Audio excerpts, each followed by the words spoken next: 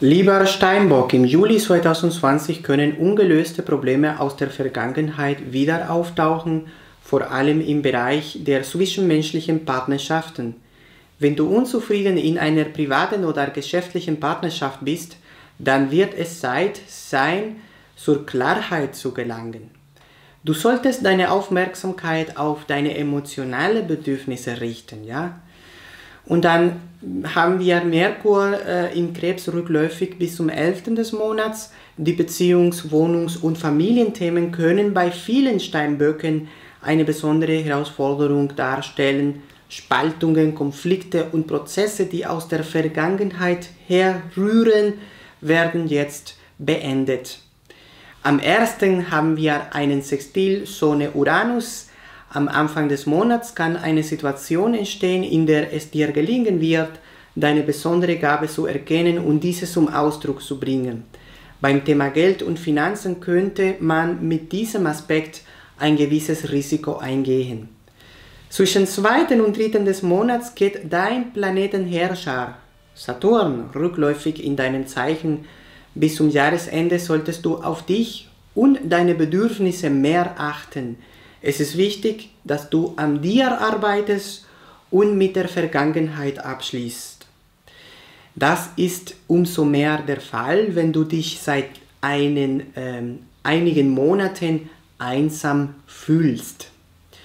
Zwischen 4. und 5. Äh, Juli haben wir einen Vollmond in Steinbock, also in deinem Zeichen.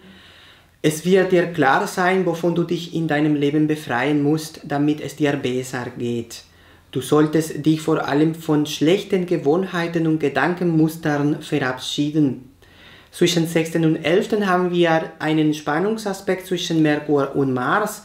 Bis zum Monatsende können ernsthafte Konflikte oder Unannehmlichkeiten mit einem Mitmenschen stehen. Am 12. geht Merkur zum Glück wieder direkt in Krebs das heißt, der Kontakt zu jemandem dürfte sich vereinfachen.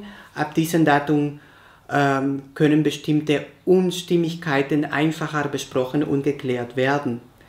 Zwischen 13. und 21. des Monats bildet die Sonne eine Opposition zu Jupiter, Saturn und Pluto in deinem Zeichen. Dieser Aspekt ist ein zweischneidiges Schwert. Manche Menschen werden einen großen positiven Schritt in ihren äh, in ihrer Entwicklung machen, während andere schwierige Erfahrungen erleben werden. Zwischen 19. und 20. haben wir einen Neumond in deinem Partnerschaftssektor. Bis Anfang August wirst du ein verstärktes Bedürfnis haben, mit einem Menschen zusammen zu sein.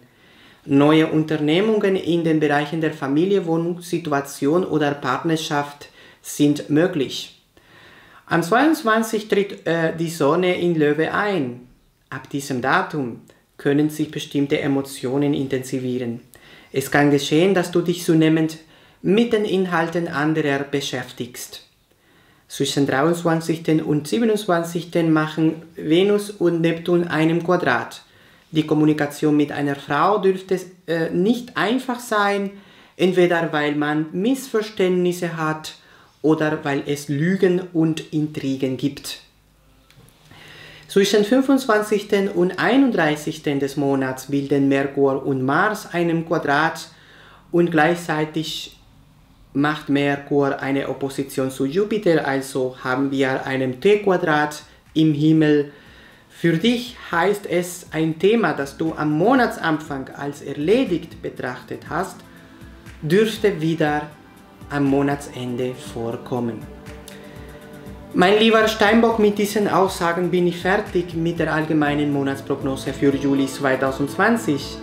Wenn du aufgrund der Weltgeschehnisse und Weltkonstellationen, die auf uns zukommen werden, eine Beratung äh, haben möchtest, meine Kontaktdaten findest du unten bei der Beschreibung dieses Videos. An dieser Stelle bedanke ich mich für deine Aufmerksamkeit und ich wünsche dir viel Glück. Alles Gute für Juli 2020.